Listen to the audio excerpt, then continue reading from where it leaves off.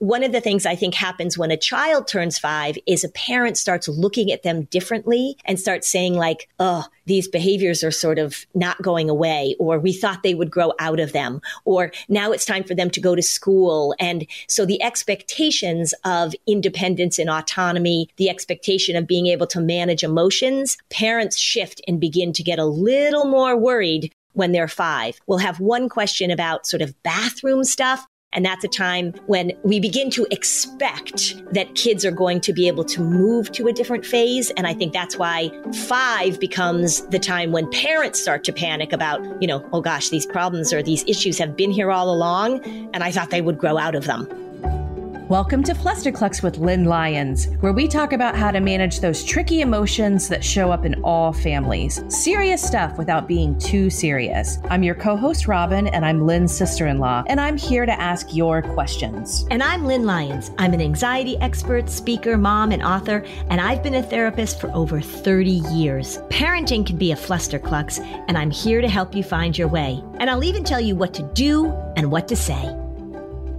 Hi, Robin. Hey, Lynn. I saw that one of the families who participated in one of the in session episodes reached out to you with some follow up. So let's hear about that before we get into the episode. Yeah. So an in session episode, just so everybody knows, is when a family volunteers, a parent reaches out to me. You can do that on the website and they get a consultation with me. They present a problem and I offer solutions. So it is a great way to hear how I interact with families. It's a great way to hear how I do consultations. Yeah. So it's really cool. So this family, this mom contacted me and the issue that this mom presented was that she had a daughter, a little girl who had type 1 diabetes, who was having a lot of anxiety and was vomiting, which, if you have type 1 diabetes, vomiting in that way is really dangerous. Yeah, I mean, that's truly the right word to use dangerous. And so I told her what to do and we talked about it and came up with a plan. And then she emailed me recently as a follow up and I asked her if I could share her follow up. It demonstrates to me, it illustrates to me how possible it is as a family to shift things and make things better. It's a very optimistic email. And I think that a little optimism right now is a good thing. So here's what this mom said. Her daughter's name was Lily. Lily graduated from her therapy and simultaneously got a new insulin pump and hasn't had an anxiety throw up episode in four months. A few interesting things to note from a clinical perspective. We realized that she connected nausea and anxiety regardless of which came first. And with diabetes, that made things very difficult.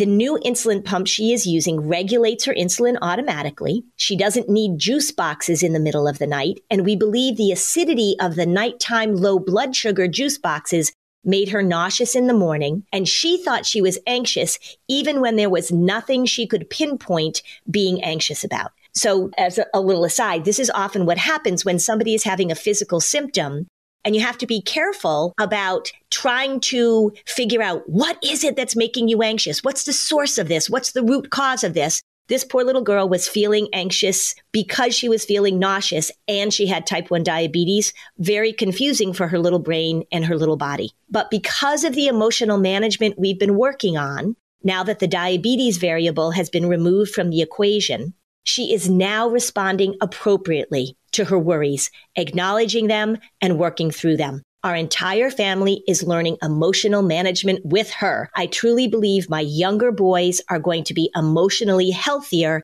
because of this entire experience.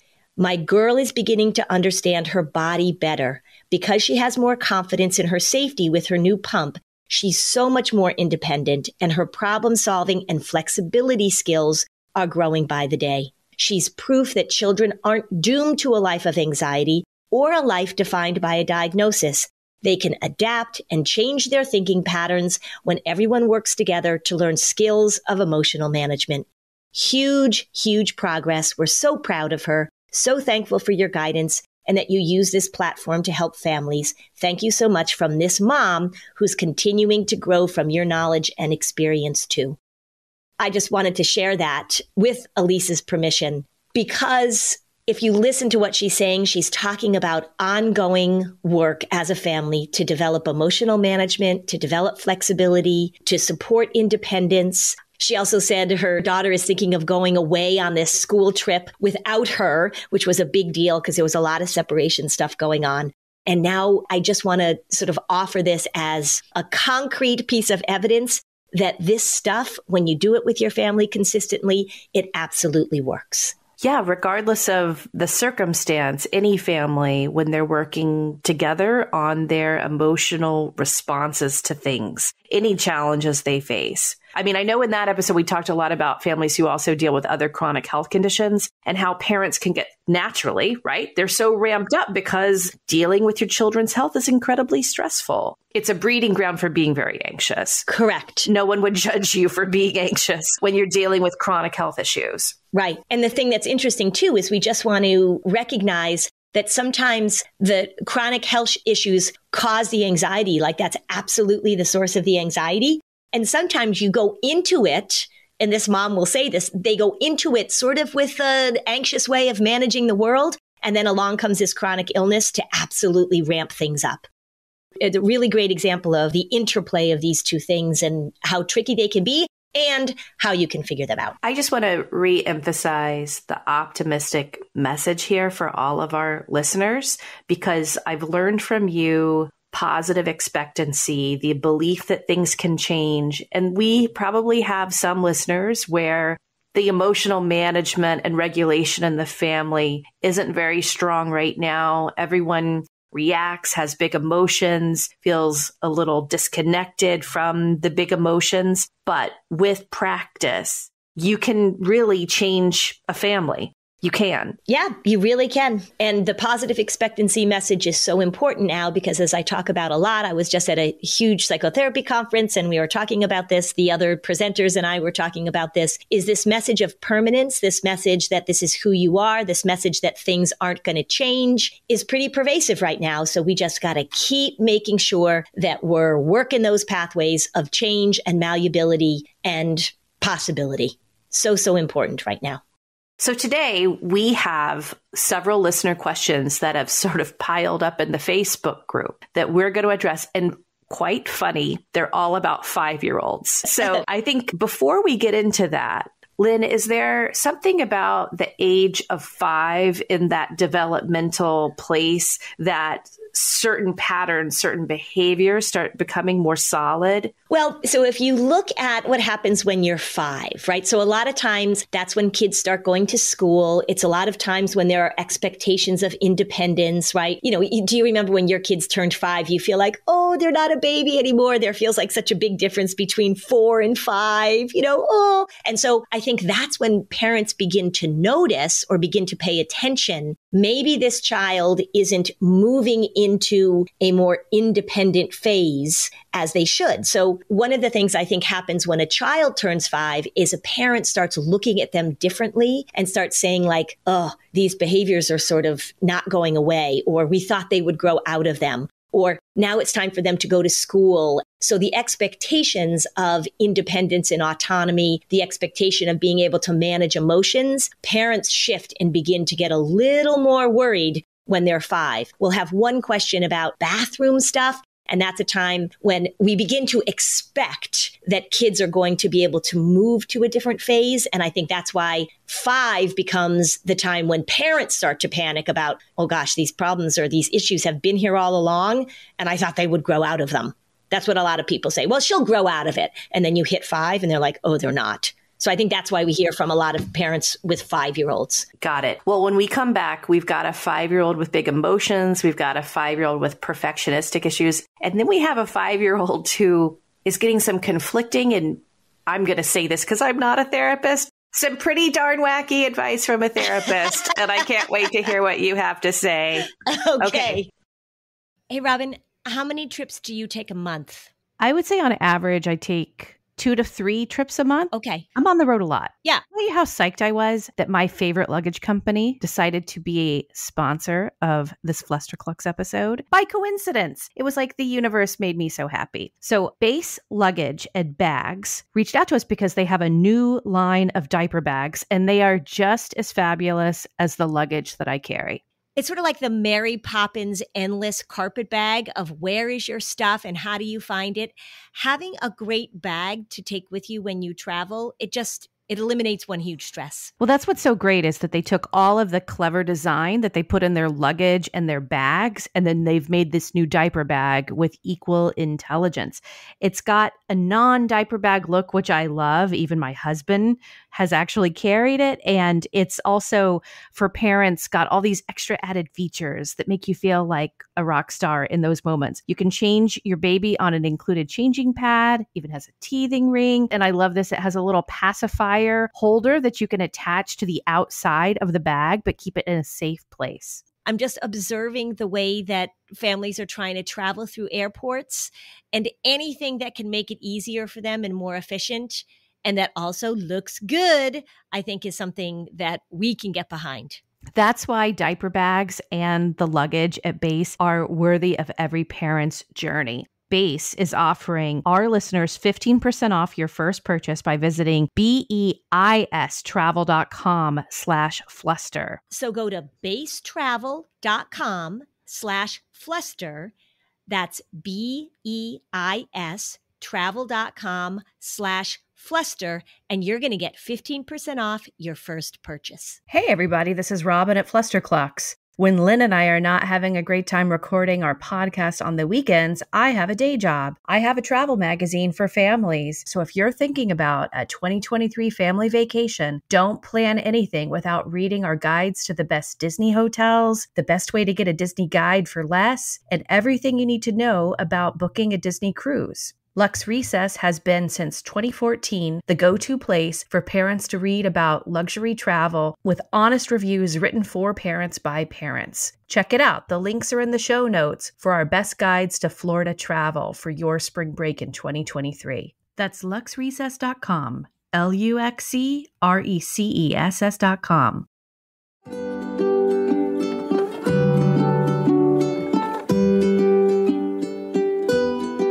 Okay, we're back.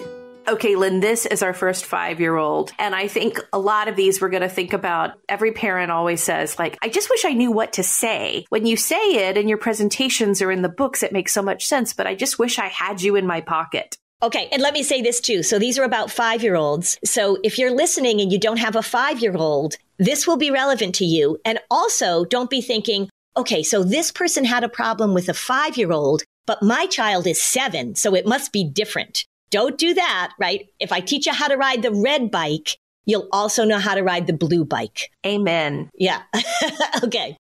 After listening to the episode about teaching your kids how to handle disappointment, I had a question I have a five year old who has big emotions in general and definitely with disappointment. I also have a three year old who's mostly go with the flow. He's constantly exposed to his sister's big explosions of feelings and tantrums, and I know it upsets him as he's told me. It's scary when she screams.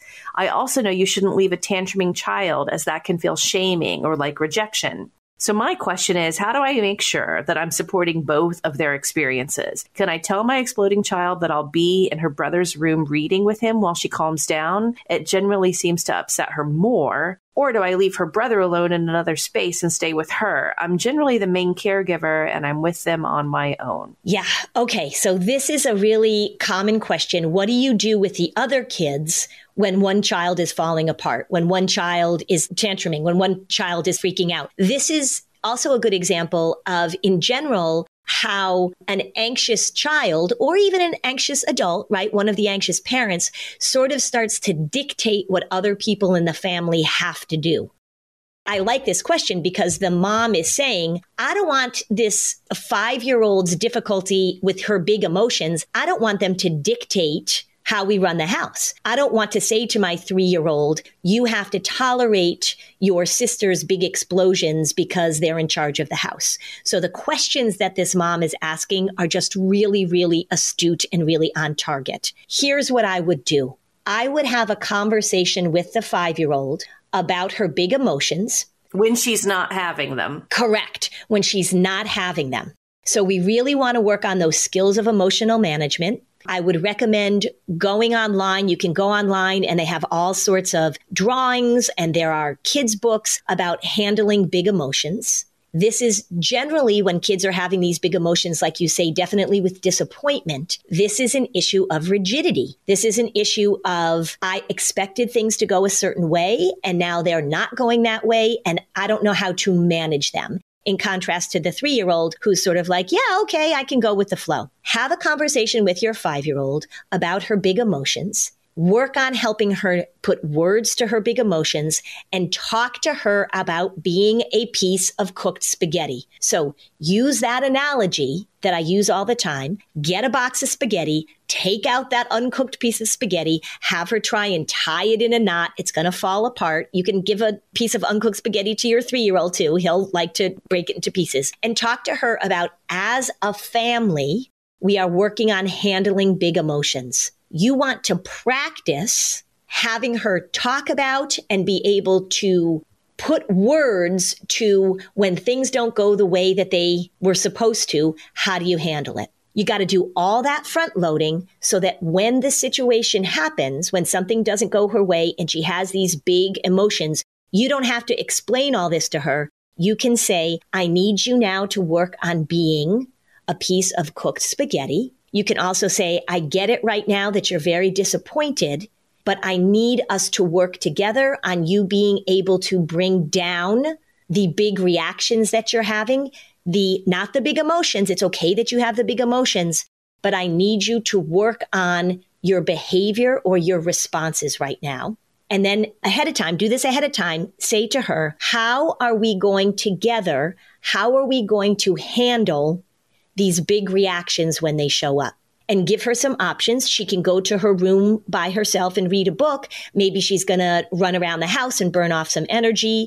Maybe there's some music. You put music on, you dance together. So it can be a connecting experience. You're not abandoning her. You're not sending her away. She may very well say, I want to go off by myself. But what you want to be clear with her is that when she is screaming and yelling, that is impacting the rest of the family and impacting her. So we're going to work on her handling those big emotions. You could say to her, What if the neighbors had a dog and the dog stood outside our door or outside of our window and just went arf, arf, arf, over and over and over again. And we had to figure out what to do with this dog's big, loud barking. We have to figure out how you can learn to manage these emotions better, handle these big feelings, which you're allowed to have, but not in a way that makes the whole house have to deal with this part of you that's screaming and yelling.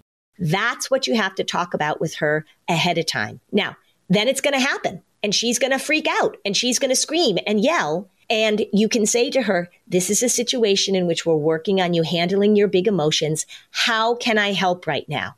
And if she says, You can't help, right? You say, So we're working on handling these big emotions. Now, maybe you have a list of three things that you're going to do. You're going to take some deep breaths. She's going to go get a book, something. You've got to put that in place ahead of time. What you say to the three year old while this is going on is you say to the three year old, I don't know what the girl's name is. So look, Mary is having some big emotions, isn't she? So right now, I am working with Mary to help her handle her big emotions. So we're going to give her some space or I'm going to read a book with her, but we're working on handling big emotions. So you are modeling for your son that this is a process to learn.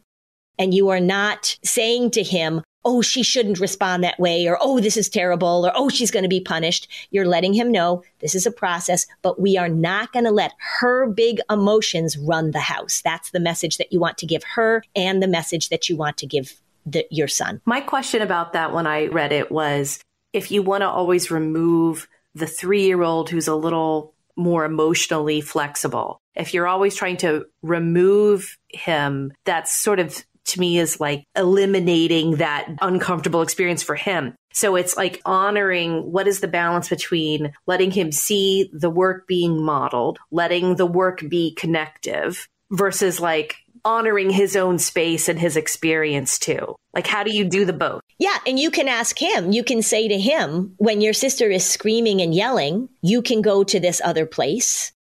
You could give him headphones and listen to music. I wouldn't plop him in front of a screen because I don't feel like that's a great coping strategy. But you're thinking about what you're modeling for both of them.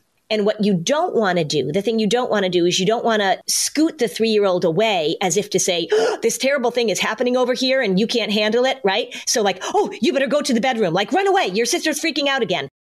But we want him to hear, we want this three year old to hear and to see you saying, you are learning to handle your big emotions, and this is not how we're going to continue to do it. I'm going to help you because then you're modeling for the three year old too. You're giving him all of that language, even though he's go with the flow.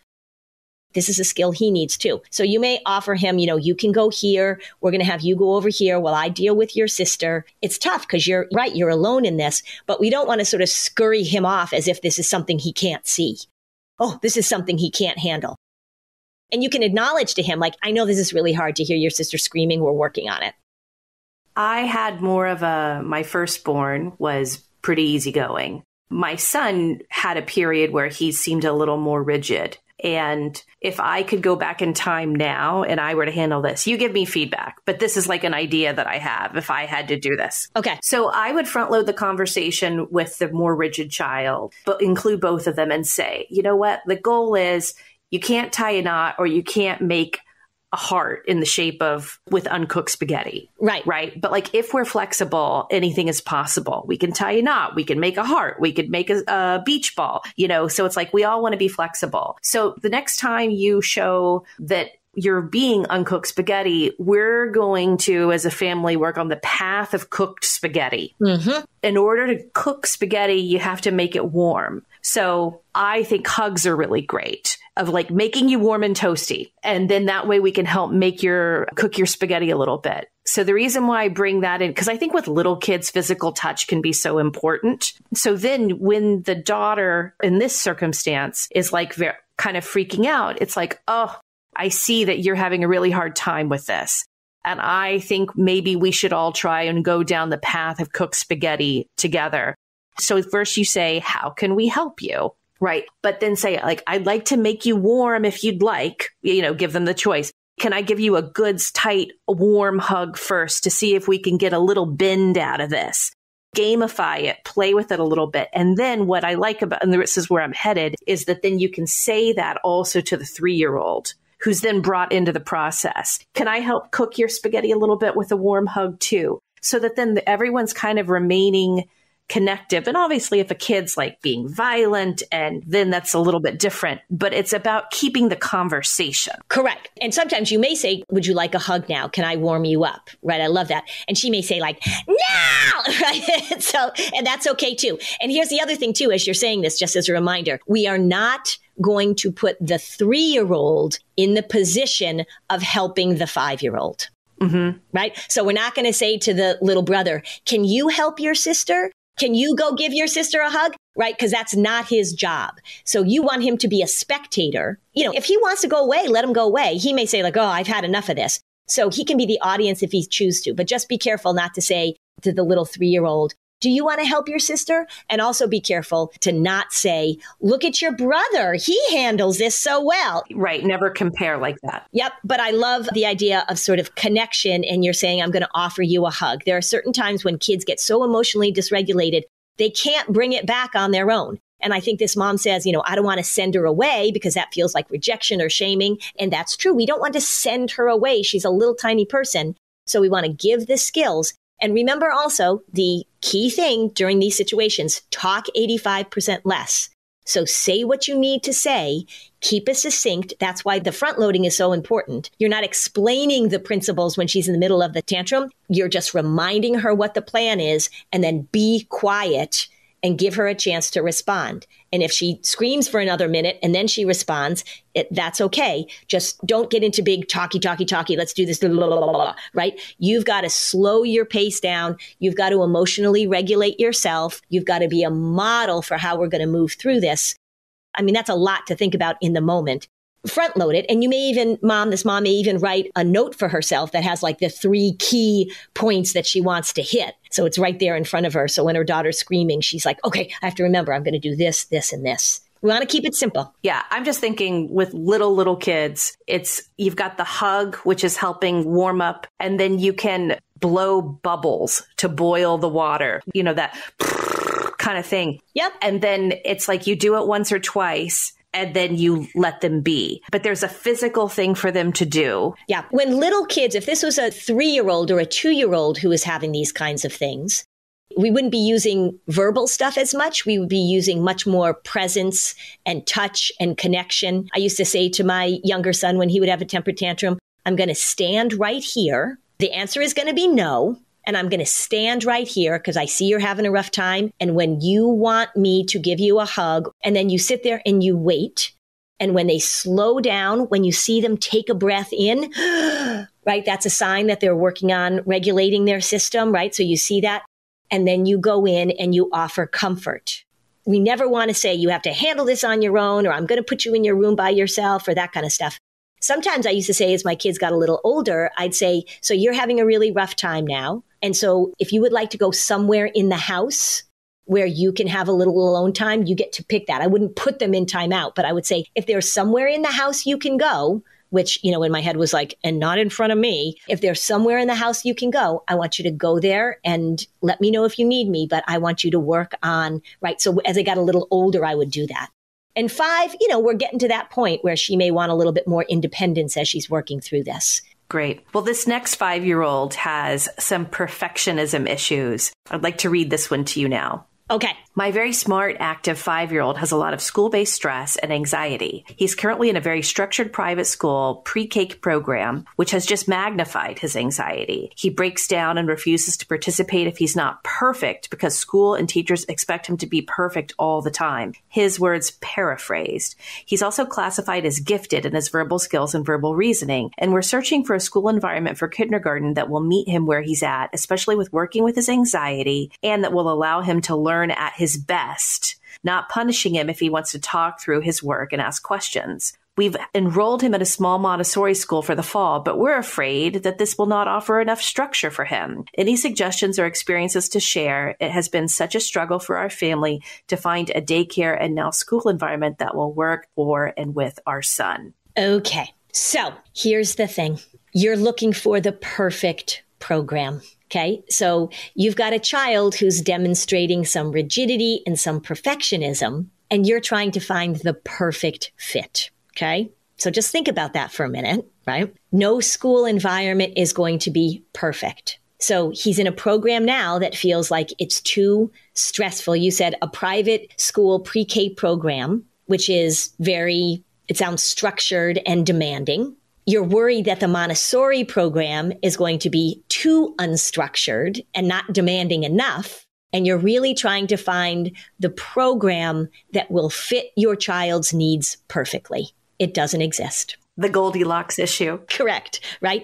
So, what you want to think about, because right now, this is where people are focusing on the perfectionism as an external problem rather than an internal problem.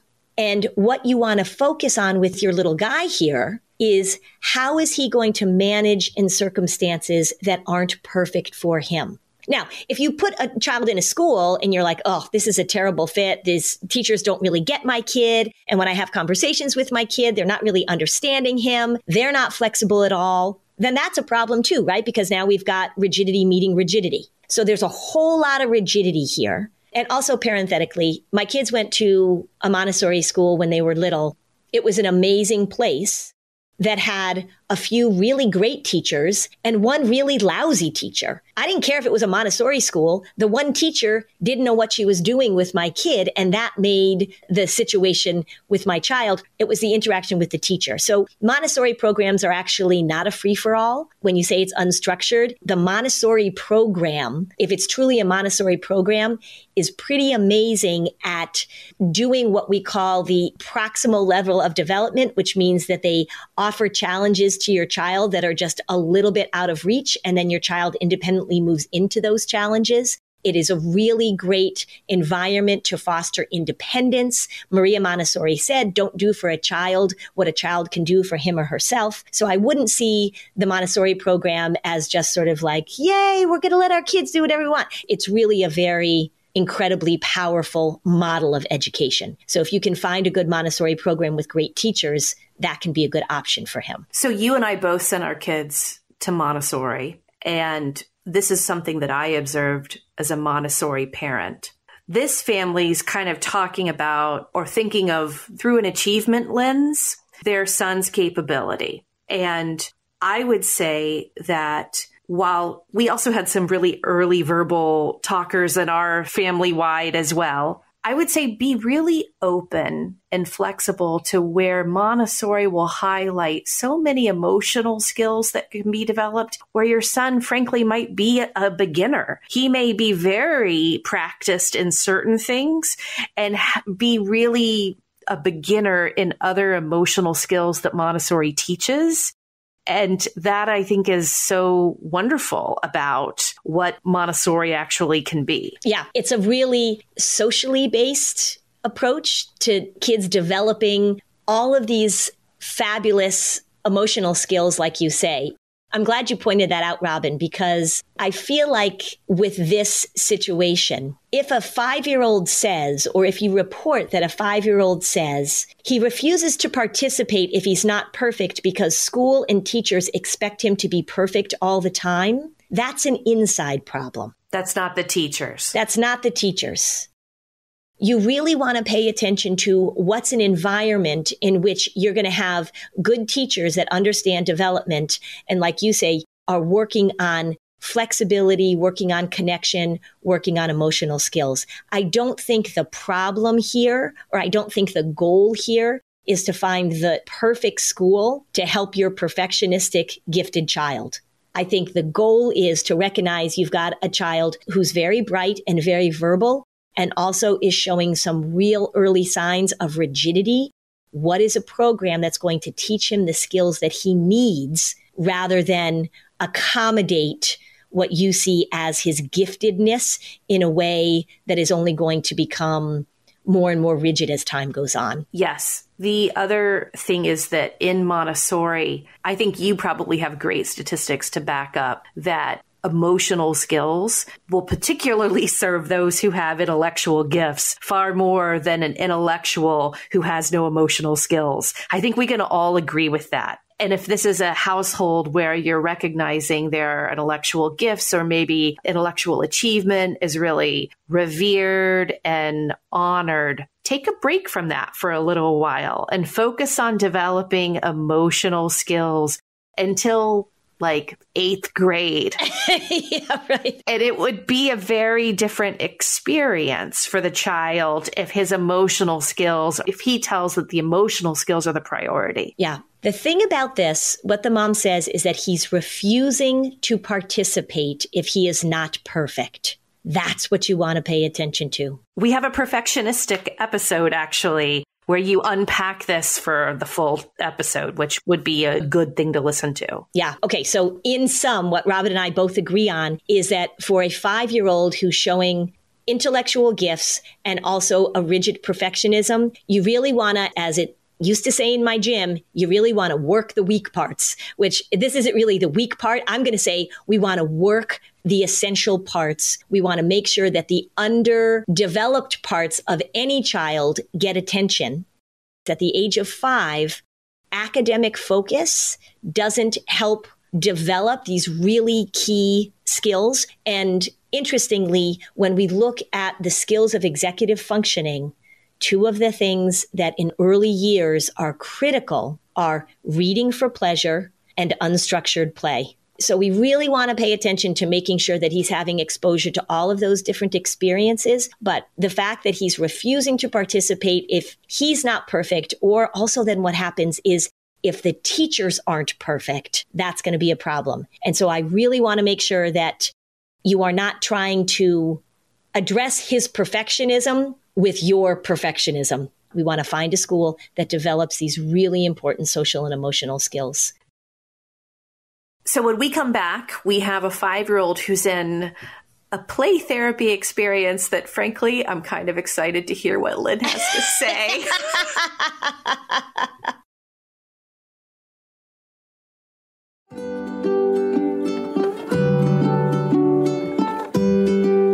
Okay, so So now back to the show. So we're back, and this final one I saved for last because I know my sister in law. and I'm waiting for this one. Okay. So we just started play therapy with my five year old daughter. The content of why we started therapy is due to her fear and anxiety over using the bathroom and having many accidents throughout the day. I have so many questions after doing, in quotes, special playtime during our play therapy session. The therapist told me that the rules were that the mom couldn't ask any questions and couldn't give any direction for 15 minutes of special playtime. My daughter wanted to play Spot It, but didn't know how, nor did I. And since I couldn't tell her how to play or read the directions, she got pissed and threw the cards on the floor. Couldn't give her directions to pick up the cards or to try a different game. And so we had 15 minutes of being pissed off. And the therapist told me to tell my daughter, I see that you're mad, which of course pissed her off even more. I don't feel like this was the point of special playtime. I think I'm missing something. And I asked the therapist about this and she said that I should notice how many times I wanted to ask her a question or give her direction and think about that over the week. So here I am thinking, I don't get why we needed my daughter pissed off for 15 minutes. What am I missing? Okay, let me just take a breath. So when I read this question, um, I had a lot of thoughts and a lot of feelings. The thing that most jumped out at me about this is there's a mom who's trying to figure out how to help her daughter. And even when she asks the therapist, what am I trying to teach here? What's the purpose of this? The therapist says the really annoying thing of, I want you to think about that for a week, which to me is not helpful when somebody says, Can you explain to me what the purpose of this exercise is? The therapist should be able to say right then and there, here's the skill that I'm trying to develop. Here's what I noticed about your relationship. And by doing this exercise, I wanted to show you blank or I wanted to show your daughter blank. Having them play a game in which a daughter is not allowed to ask any questions about a game that she doesn't know how to play, and a mom isn't allowed to answer any questions about a game that she doesn't know how to play, doesn't sound like a a normal human interaction, right? That just sounds mean. And also, I'm not quite sure at all how this is relevant to the problem that they went to therapy for which is that the daughter is having bathroom issues and having accidents during the day. Can we cut to the chase? Yeah. Okay, let's talk about this being an overarching thing of like, is this therapy the right thing? The mom has questions. Yeah. Many parents do. Why don't you address that? Okay. Because this mom should leave. I know. And she did say that. You didn't, the last line of the question, which you left out, was Am I supposed to learn something from what happened? Or should I just run away from this therapist? Okay. So let me say this too play therapy is incredibly helpful and powerful in a lot of circumstances, particularly play is the way that children process trauma. So when you are working with a really skilled and knowledgeable play therapist who is helping a child process trauma, it is remarkable to watch these skilled therapists at work. And it is creative, it is connected, it is metaphorical, it's like watching Mr. Rogers teaching kids these huge, important lessons through the metaphors of the things that he does. Play is incredibly powerful. So I am all for really skilled play therapy. I don't know what the heck this therapist was trying to do. I don't. I have never heard, now again, I am not by training a play therapist. I've never heard an exercise where you have a daughter and a mother, particularly where the daughter is there for because she needs to some skills to figure out how to deal with her anxiety over using the potty, that they play a game and get pissed off at each other.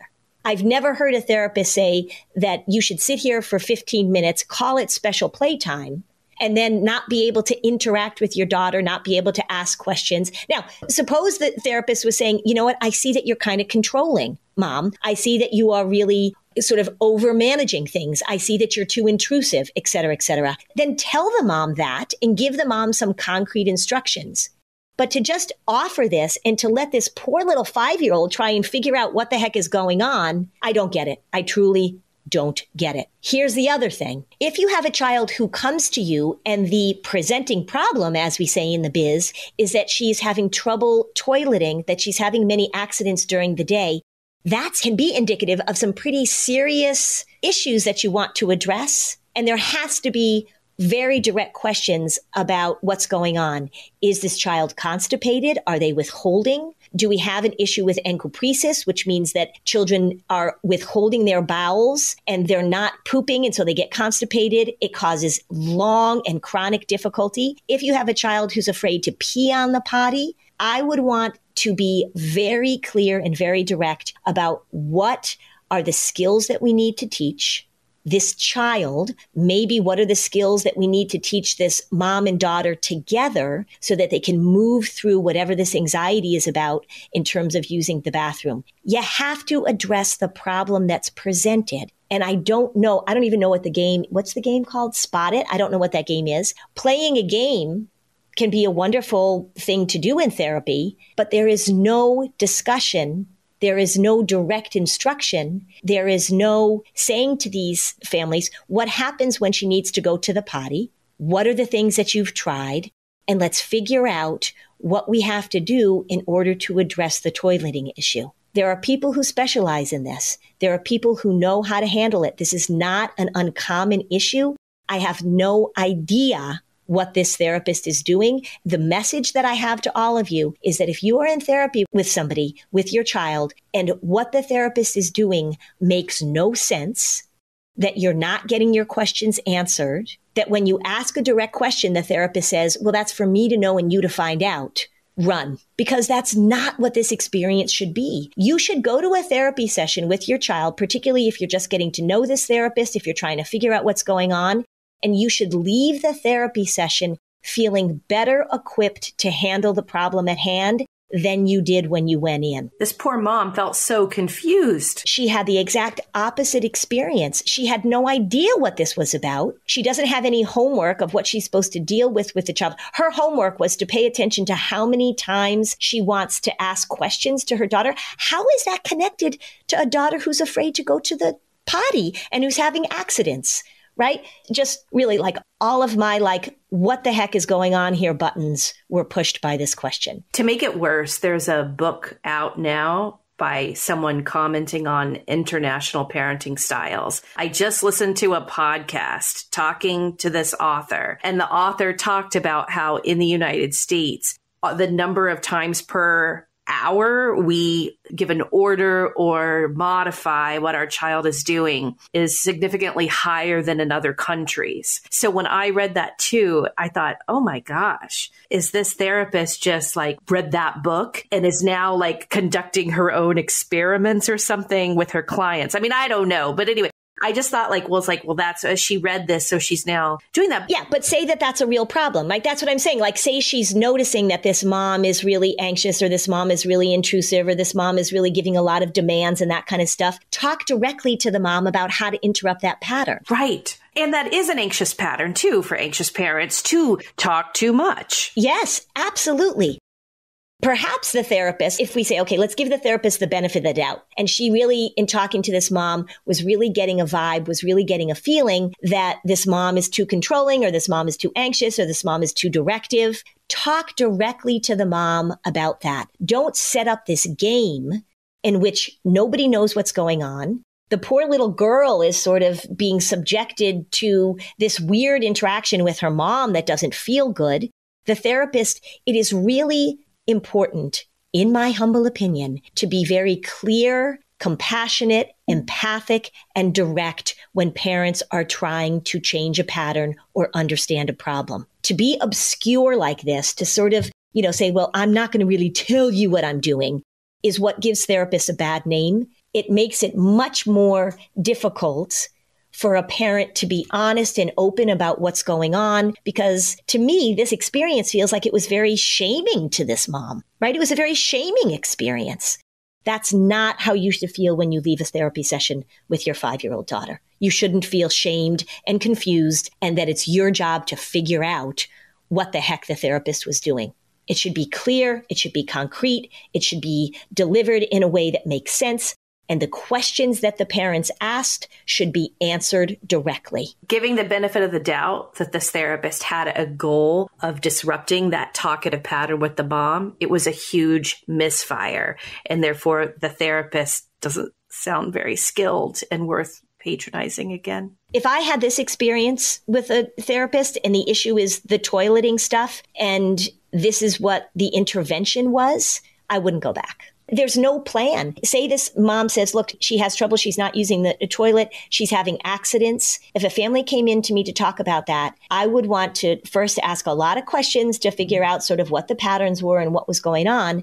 And then I would want that family to leave saying, Oh, phew. Okay. Lynn understands this. This is not an unusual problem. I feel so much better that we are talking to somebody who gets this. And these are the things that we're going to do very concretely over the next few weeks. And then we're going to go back and see Lynn and Lynn is going to help us figure out what worked and what didn't and how we can modify this. I don't get the sense that that happened at all with this. And I think this mom left feeling rightfully so confused, a little shamed, a little frustrated. And the poor little girl left pissed off. Does this little girl want to go back to therapy after she had that experience with her mom? Why would you want to have an, a therapeutic experience where the little girl just feels more pissed off at her mom by the end of the session? I don't see the benefit of that. This reminds me, I was on a plane this weekend, and as we landed, a very comedic flight attendant said, well, we've just landed back in Boston, and congratulations, this was the first flight of our crew. So it was a joke and everyone laughed. But it's almost like I keep thinking like that was the first play session for that therapist. Yeah, I don't know. Maybe not, sadly. Maybe she's I don't know. I was on a plane once and the flight attendant said, Everyone, I just want to let you know we're celebrating a birthday today. We have a man on the plane who is celebrating his 91st birthday, and this was his first flight so give a high five to the captain on the way off the airplane because he did a great job. Yeah. but it was funny because when he said, this is, he's 91 years old and it's his first flight and everybody went, oh, right. And then she said that. We all laughed. Ha ha ha. It was a good one. Yeah. If this episode was helpful to you, you can join our Facebook community, and we'd love it if you left a five star review on Apple Podcasts. Thanks for joining us on this episode of Flusterclux. Bye, Robin. Bye, Lynn.